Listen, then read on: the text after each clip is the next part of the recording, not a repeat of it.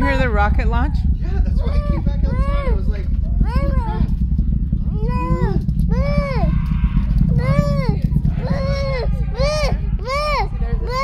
Oh yeah, the tail. Okay.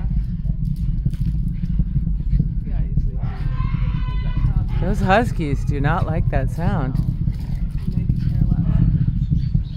So it's way up there now. Oh yeah. Huh. That's cool.